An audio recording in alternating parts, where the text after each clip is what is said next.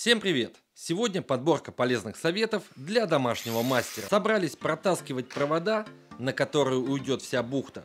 Тогда не спешите срезать стяжки, так как все перепутается. Возьмите обычную ленту и обмотайте бухту с трех сторон, как показано на видео.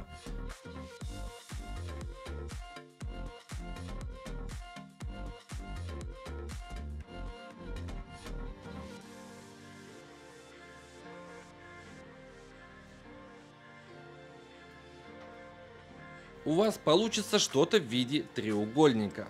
И теперь можете смело резать стяжки и вытаскивать провод с середины. Таким образом бухта размотается без всяких проблем и свою форму будет держать до самого конца.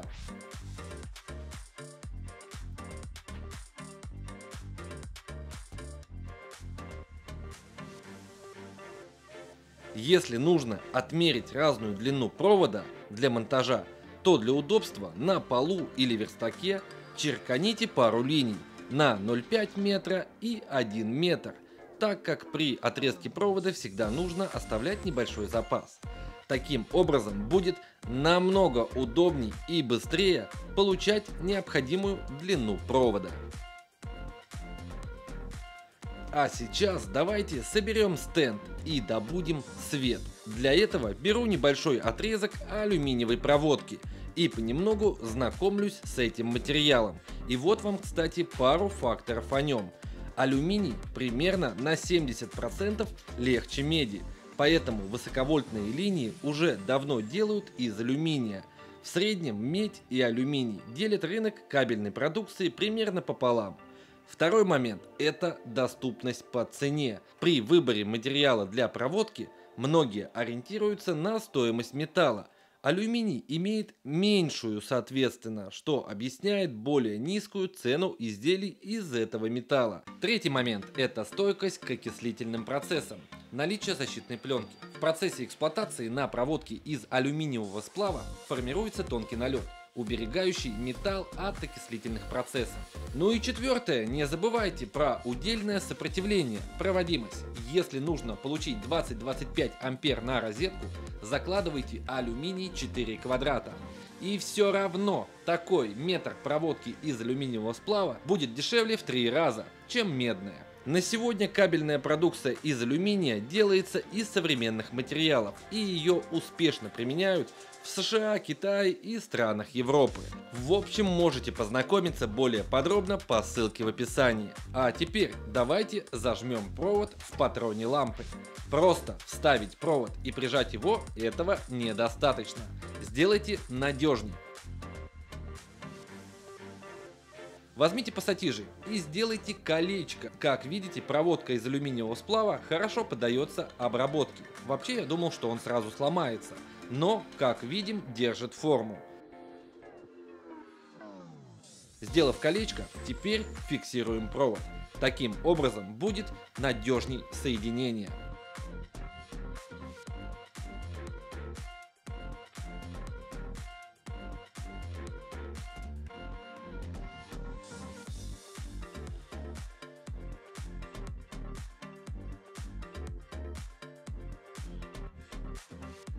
Бывает такое, что выдергивают вилку прямо за провод, и провода остаются в руке, а вилка в розетке. Чтобы соединение было надежней, сделайте две петли, как показано на видео, и ваше соединение будет крепче.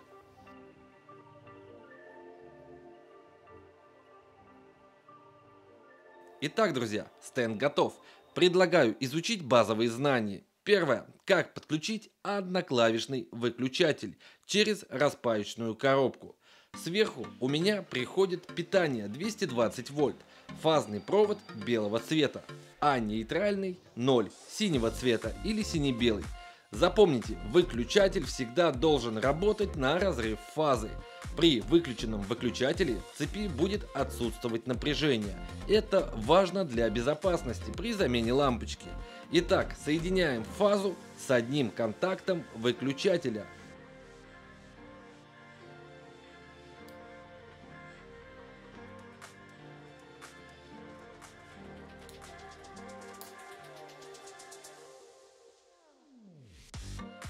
А второй контакт выключателя соединим с контактом светильника.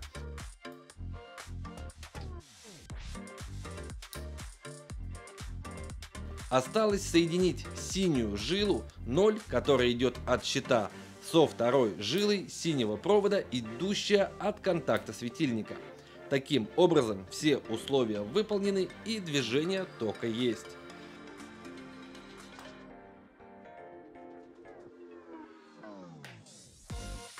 Теперь давайте немножко усложним задачку и добавим сюда розеточку, которая должна работать всегда, независимо от выключателя. Белый провод от розеточки мы подводим к белому фазному проводу от щитка и фиксируем вагу.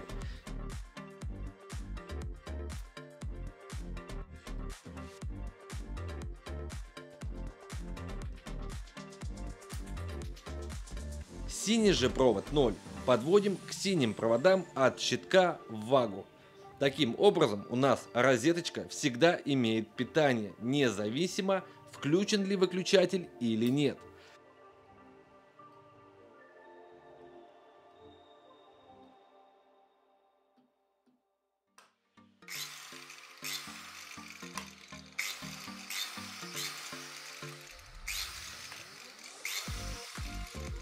Есть еще один полезный прием, особенно проживая в частном доме.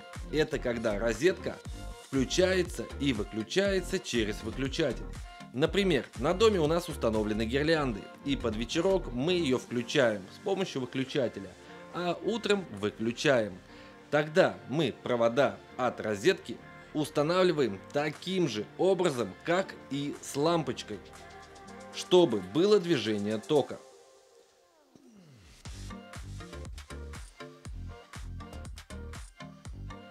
Запомните эти приемы, друзья. Я уверен, каждому домашнему мастеру может пригодиться. Вот еще пару советов. На собственном опыте я это уже прочувствовал, и поэтому я рекомендую смело купить пару инструментов для зачистки проводов. Прям самых простых стриперов. На инструмент, который у меня в руках, я оставлю ссылки в описании. Стоит буквально копье. Но даже если они вам пригодятся всего лишь пару раз, я уверяю, ваши пальцы останутся целыми. Также всегда рекомендую использовать большие подрозетники. В таких удобно работать и можно оставить больше запаса провода. Не экономьте и не покупайте мелкие, только добавите себе больше неудобства. Если у вас перегорела лампочка и при выкручивании цоколь остался в патроне, то вот самый быстрый и простой лайфхак. Возьмите обычную пластиковую бутылку и зажигалку. Нагрейте хорошенько горлышко и прижмите к цоколю на десяток секунд. Пластик остынет и схватит цоколь, и вы без проблем вытащите его из патрона.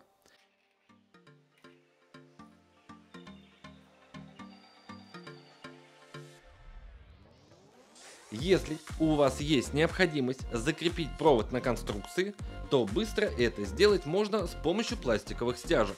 Но если закрепить на одну стяжку, то провод будет болтаться и бегать по всей плоскости. Поэтому, друзья, закрепляйте на две стяжки, как показано на видео. Таким образом провод всегда будет на своем месте.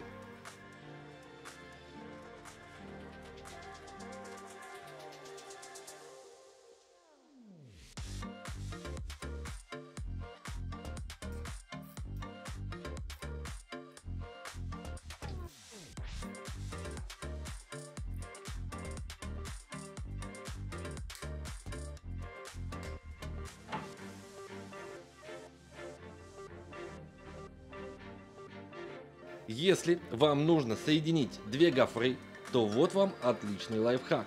Не надо тратить сюда целый моток изоленты. Просто берем канцелярский нож. Из каждой гофры делаем небольшой разрез, а далее просто накручиваем друг на друга. Соединение получается отличное и таким простым трюком наращиваем гофру. Напишите в комментах, друзья, какие советы понравились больше всего, а какие нет. Также поставьте жирный палец вверх, вам не сложно, а мне приятно. И подписывайтесь на канал. Всем желаю хорошего настроения, всем пока-пока.